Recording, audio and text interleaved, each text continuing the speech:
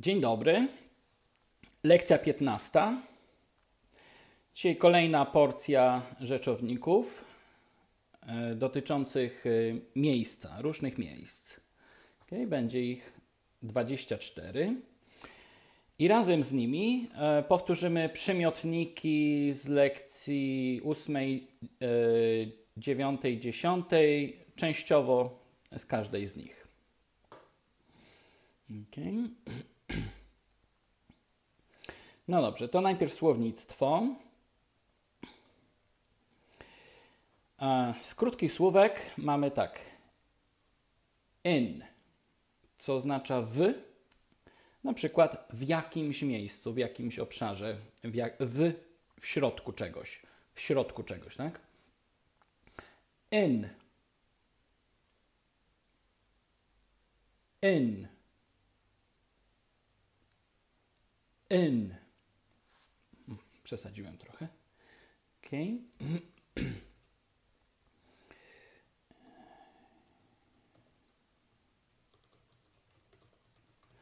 okay. Następnie to, co było już na poprzedniej lekcji, e i n oznacza jakiś jeden rzeczownik, jakaś jedna rzecz. Tak? Dodajemy przed rzeczownikiem e, policzalnym w sztukach.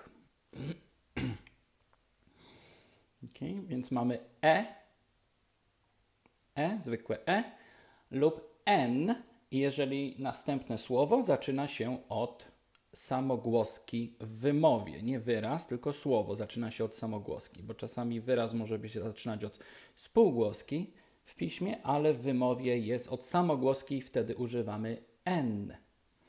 Okay? No dobrze. Czyli mamy n jako wy, w środku czegoś w jakimś miejscu mamy e lub n, jakiś jeden. I teraz y, rzeczowniki i od razu będę y, dopowiadał, z którymi przymiotnikami je powiązałem. Ok, więc mamy tak, mamy region. A region. A region. a region. Okay? I będzie z przymiotnikiem cold, zimny. Następnie kraj. A country. A country.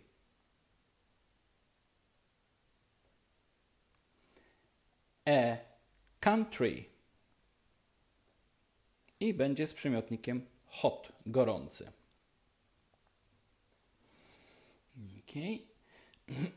Następnie miasto bez katedry. I tutaj mamy, yy, szczególnie w Wielkiej Brytanii jest podział yy, na miasto bez katedry się nazywa inaczej i miasto z katedrą się nazywa inaczej. I już mamy tak. Więc miasto bez katedry to jest a town.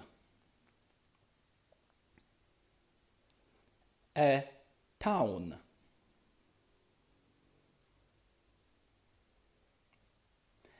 A town. Okay. Natomiast tam, gdzie jest katedra, to mamy a city. A city. A city.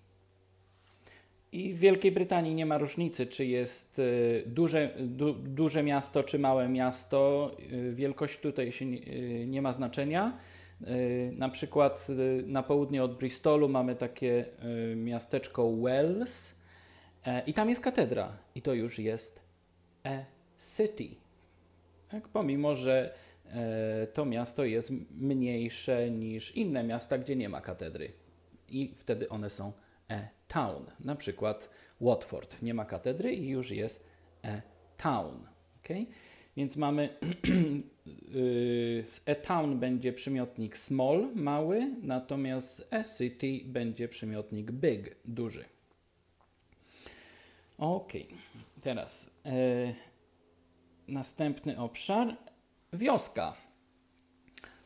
A village. A village. A village.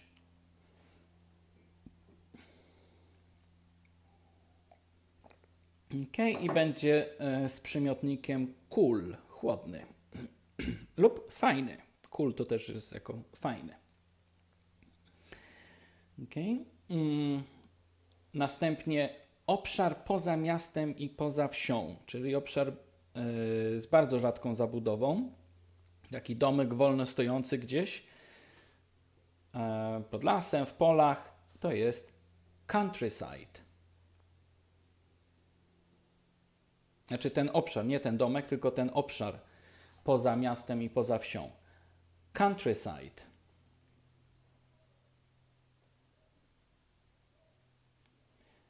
Countryside. I uwaga, tutaj nie ma e. To jest rzeczownik niepoliczalny w sztukach, więc nie ma e. Aczkolwiek, e, kiedy dodamy do niego przymiotnik, wtedy on ogranicza troszeczkę e, tenże obszar niepoliczalny w sztukach i wtedy możemy go wydzielić i wtedy będzie razem z przymiotnikiem, już w ćwiczeniu będzie razem z e. Tak, będzie tutaj przymiotnik warm, więc będzie a warm countryside. Ok, następnie obszar administracyjny, który typo, y, może być również jako dzielnica i to będzie a district. A district. A district. tak? I będzie z przymiotnikiem poor, biedny. Kolejny obszar administracyjny, e, występujący w kilku krajach i um,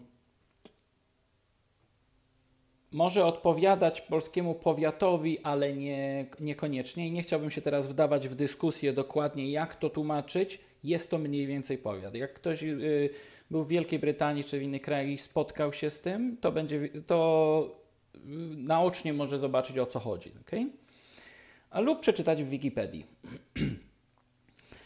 A, I ten rzeczownik to e borrow.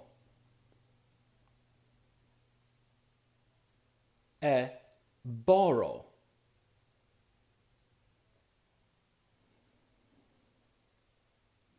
E borrow.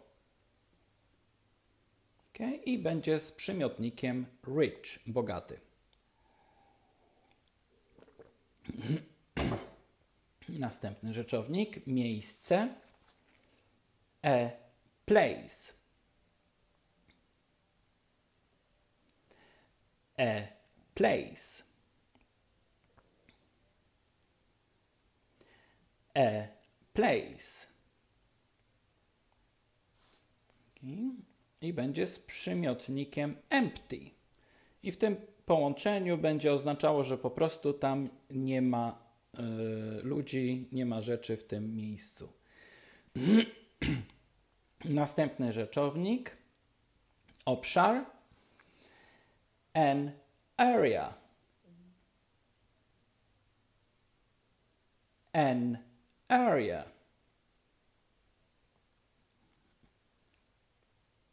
An area. Tak, I tutaj zwróć uwagę, mamy n, ponieważ następne słowo zaczyna się od samogłoski a, e, a. Area. Area. Ok, i połączyłem go z przymiotnikiem full, pełny. W tym wypadku mamy pełny obszar, czyli pełen y, ludzi lub rzeczy. ok, następnie mieszkanie w bloku. E flat.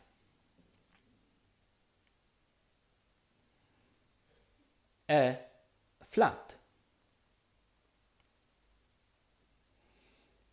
A flat. Okay? I połączone z przymiotnikiem low, niski, czyli niskie mieszkanie. Następny rzeczownik. An e, apartament, okay? czyli takie duże mieszkanie. An apartment.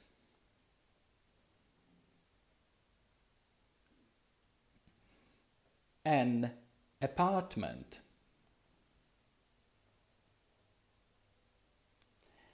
An apartment.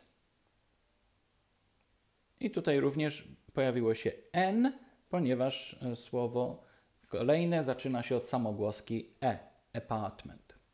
Okay? Połączone z przymiotnikiem high, wysoki. Okay? Następnie dom jako budynek. Okay? Ponieważ y, dom jako miejsce y, zamieszkania to jest home. Okay? I może oznaczać różne miejsca. Natomiast dom jako budynek to jest a house.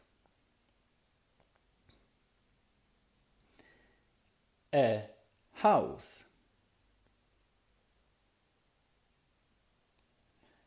A house.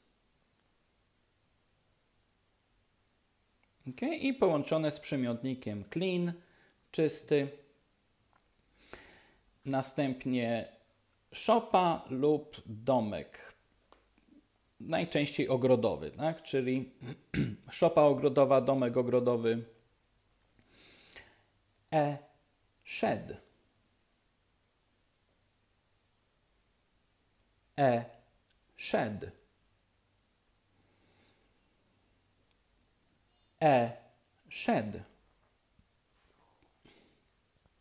I połączone z przymiotnikiem dirty brudny, no bo przeważnie tam jest a, nieporządek.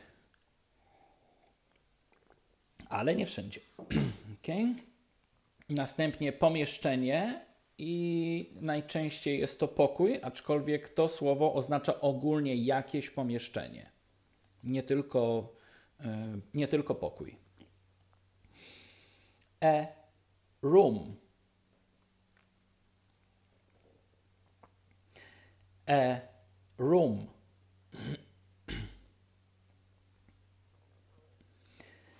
a room. Okay.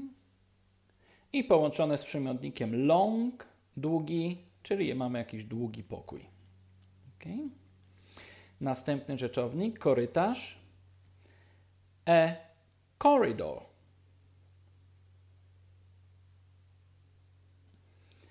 a corridor.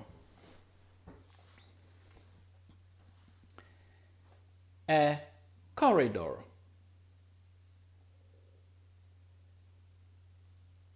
A corridor. Okay. I połączone z przymiotnikiem short, krótki. Okay. Następnie mamy tak, garaż, warsztat mechaniczny, stacja benzynowa. Tym słowem możemy określić wszystkie te trzy, a, wszystkie te trzy miejsca i to jest a garage. A garage. A garage.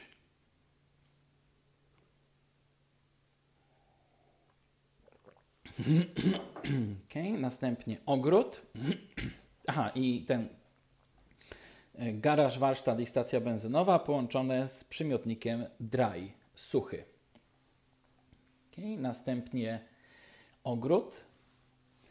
A garden. A garden.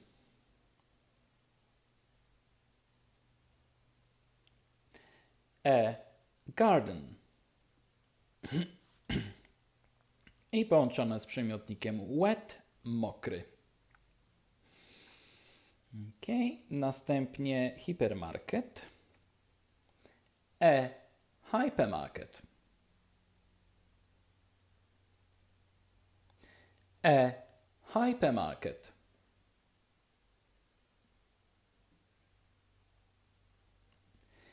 A hypermarket.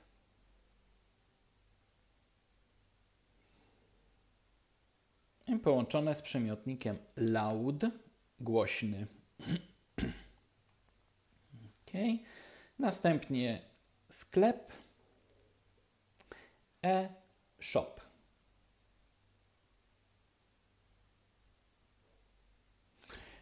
Może to być również yy, warsztat usługowy. E-shop.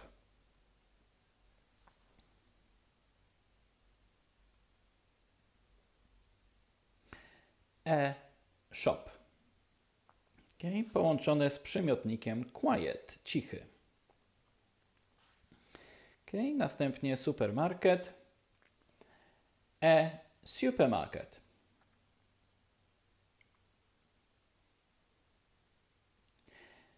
E-supermarket.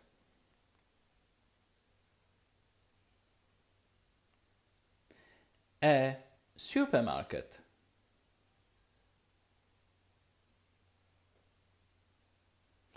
Okay. I połączone z przymiotnikiem bright, jasny. Okay. Następnie sklep, e-store.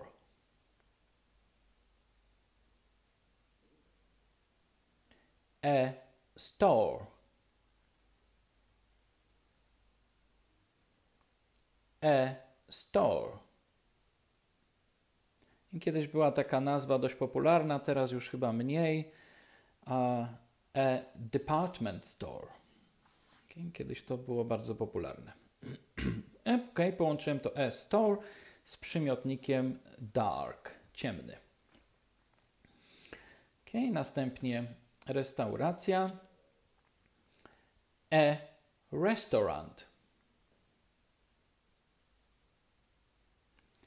E restaurant.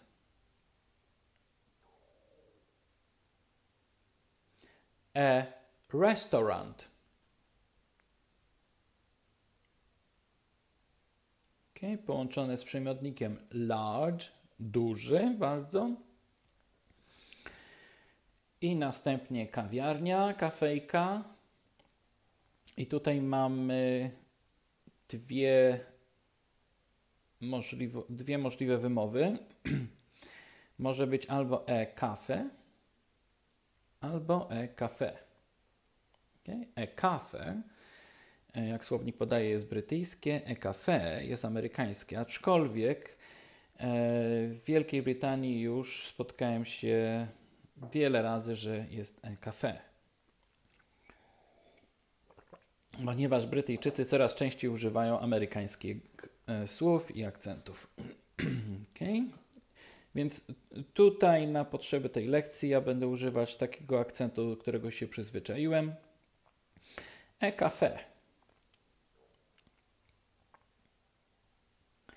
E-café. E-café.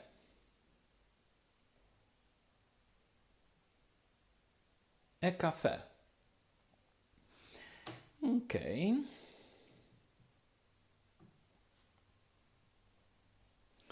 Dobrze, no to jeszcze raz przechodzimy przez te słówka.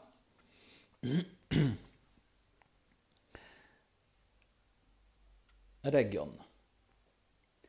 A region.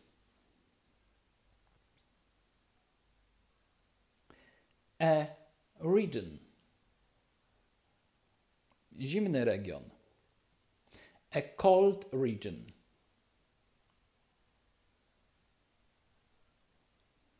a cold region.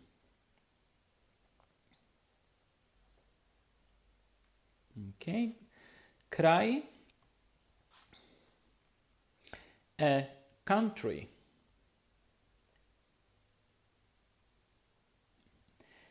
A country.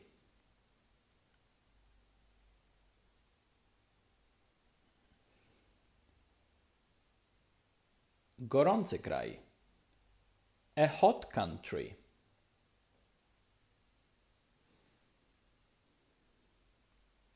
a hot country.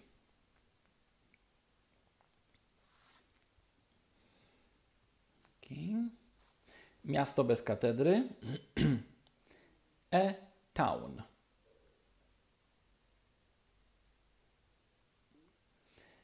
A town.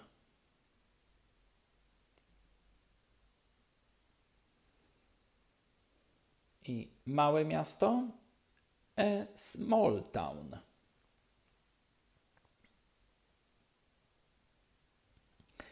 A small town.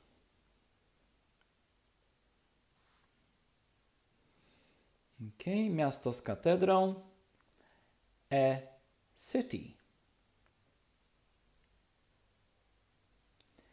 A city. I duże miasto z katedrą. A big city.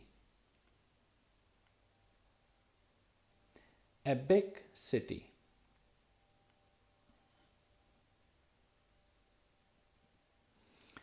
Ok, następnie wioska. A village. A village. Okay, chłodna lub fajna wioska. A cool village.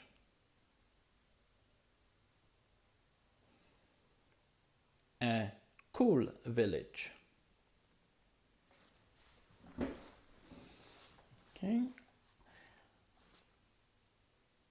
Obszar poza miastem i wsią. Countryside.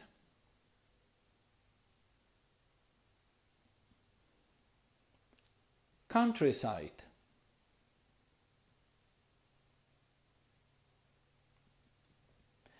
Countryside. Teraz, jeżeli wydzielimy ten obszar i nazwiemy go, że on jest ciepły, warm, to będzie a warm countryside.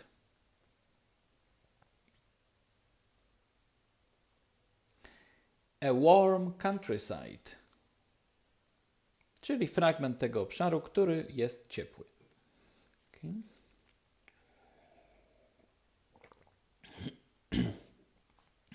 Dobrze, dalej. Obszar administracyjny, dzielnica. A district.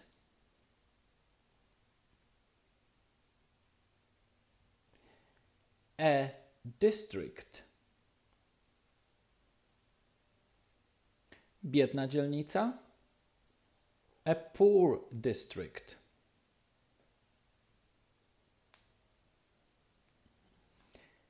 A poor district.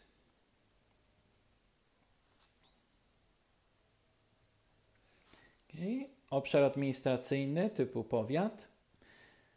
A borough.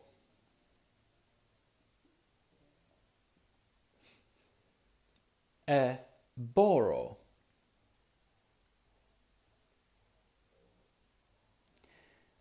A borough. Bogaty powiat. A rich borough.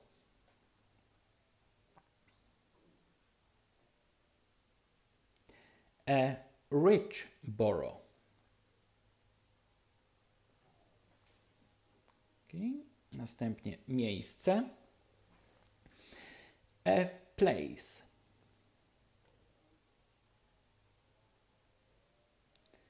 A place.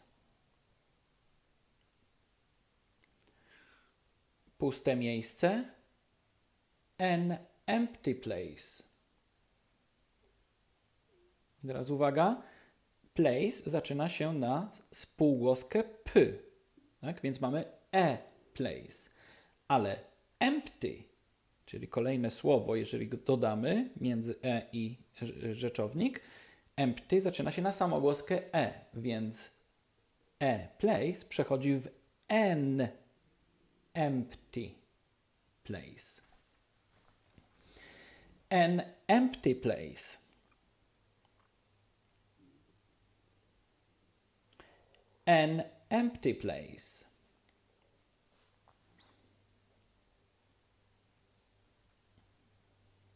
Okay. Obszar. An area.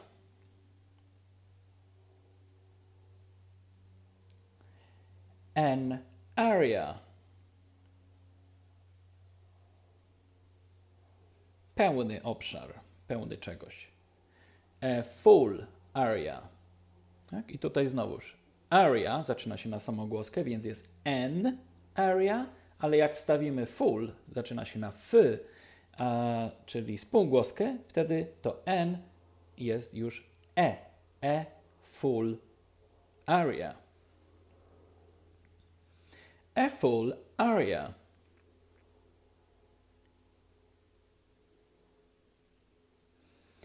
A full area. Okay. Mieszkanie w bloku. A flat.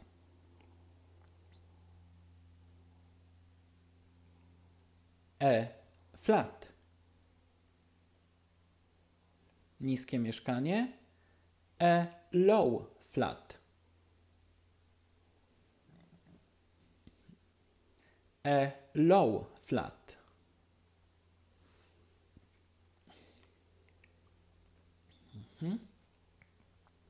Apartament. An apartment.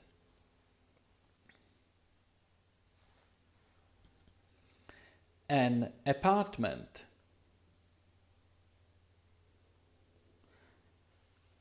Wysoki apartament. A high apartment. A high apartment.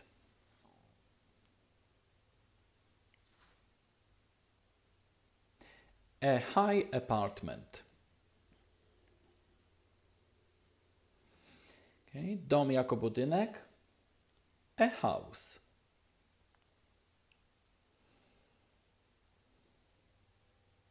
A house. Czysty dom. A clean house.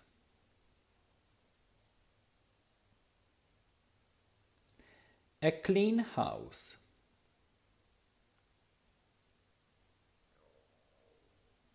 Mhm. Szopa ogrodowa, domek ogrodowy. A shed. A shed. Brudna szopa. A dirty shed.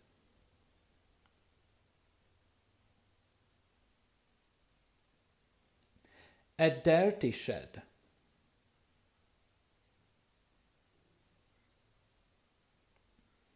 A dirty shed.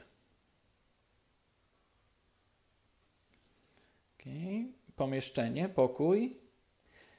A room.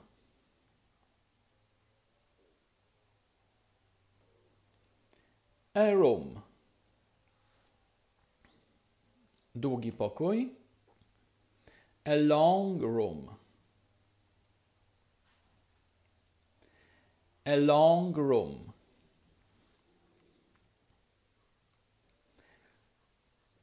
Korytarz. A corridor.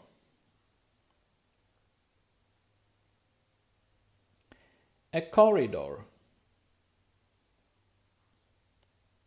Krótki korytarz.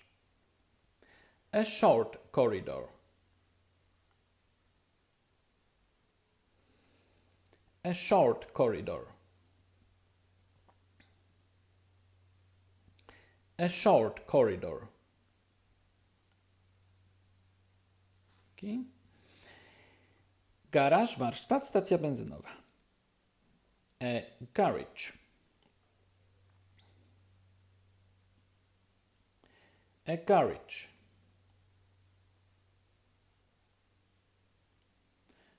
suchy garaż, suchy warsztat, sucha stacja benzynowa, a dry garage.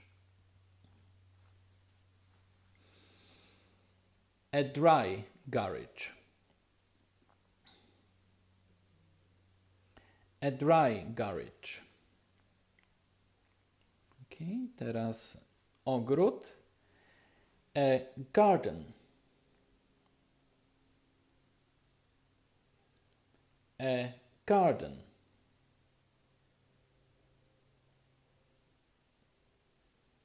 A garden.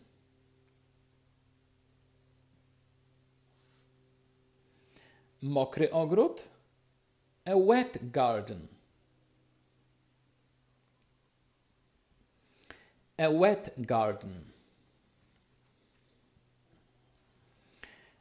Hypermarket. A hypermarket.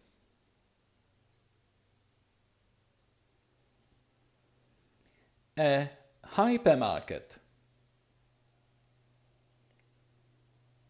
Głośny hipermarket. A loud hypermarket.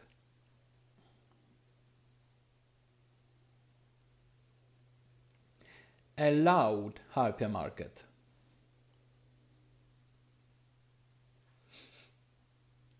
A loud hypermarket.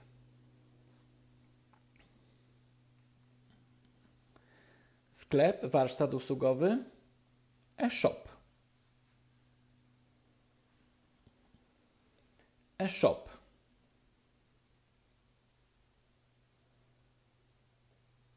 Cichy sklep. A quiet shop.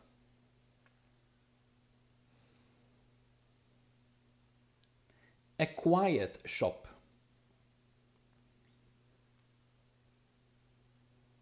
Okay, supermarket.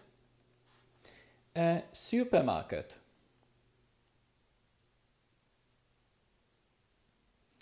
A supermarket. Jasny, dobrze oświetlony supermarket. A bright supermarket. A bright supermarket.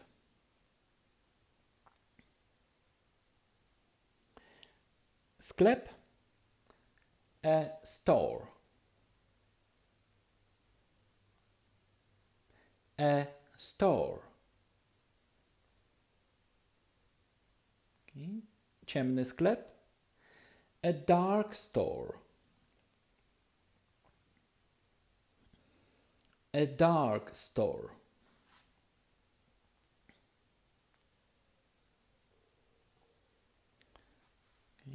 Restauracja. A restaurant.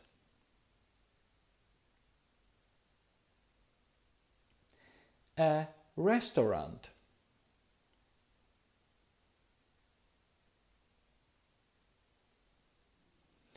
A restaurant.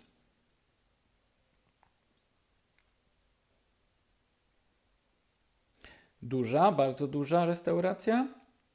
A large restaurant.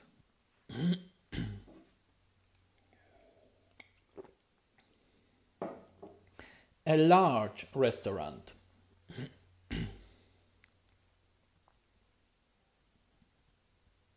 A large restaurant.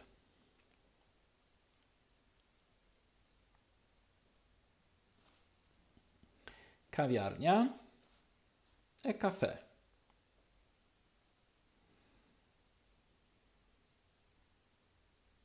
A cafe. Mała, niewielka kawiarnia. A little cafe.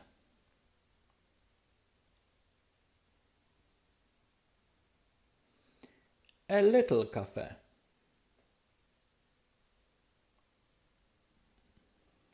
A little cafe. Okay. Teraz tylko po angielsku. A region. A cold region.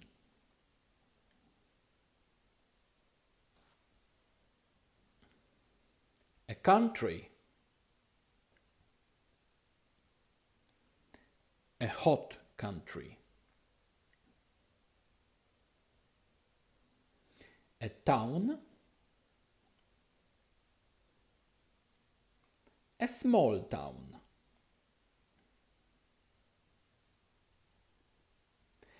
A city, a big city.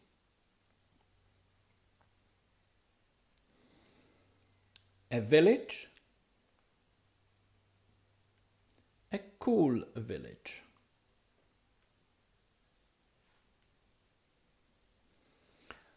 Countryside. A warm countryside.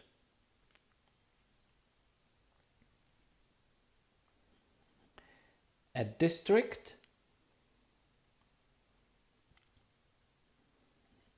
A poor district.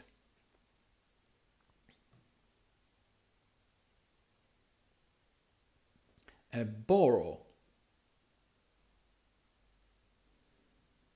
A rich borough.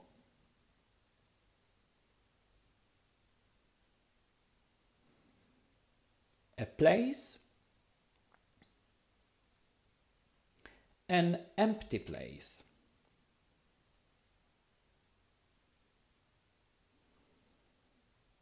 An area. A full area.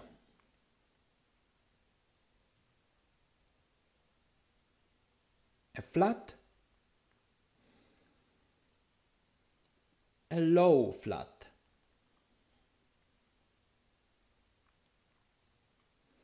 An apartment.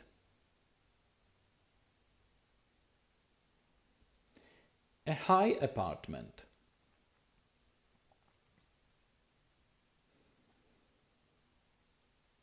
A house. A clean house.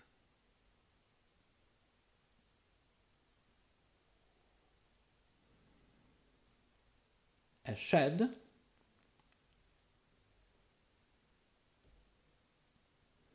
A dirty shed.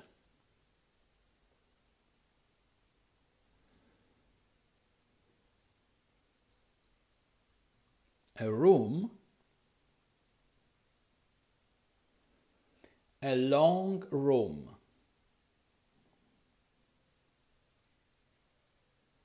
A corridor. A short corridor. A garage. A dry garage. A garden.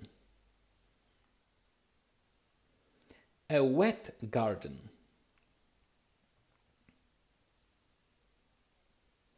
A hypermarket.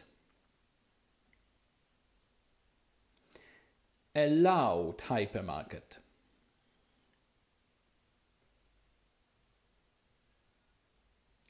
A shop.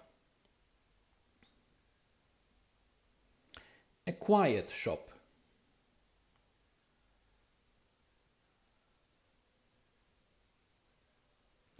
A supermarket. A bright supermarket.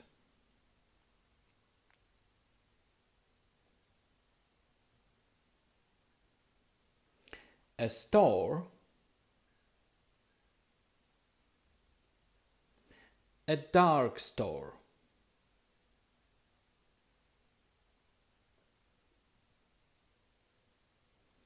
A restaurant.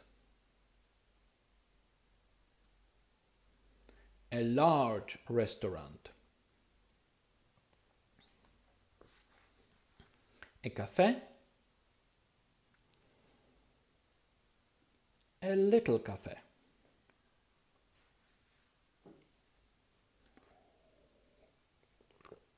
Ok, dobrze, ponieważ to praktycznie nam zajęło 40 minut, więc ćwiczenie będzie w drugiej części tej lekcji, tak, w kolejnym nagraniu.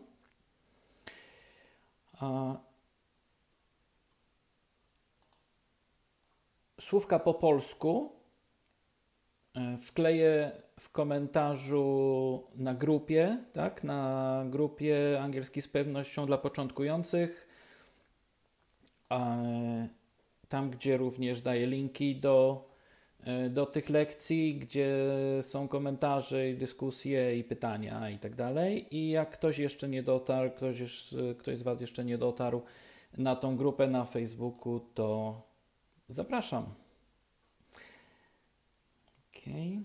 Dobrze, więc ćwiczenie z tym, e, z tym słownictwem na następnej, e, w drugiej części tej lekcji.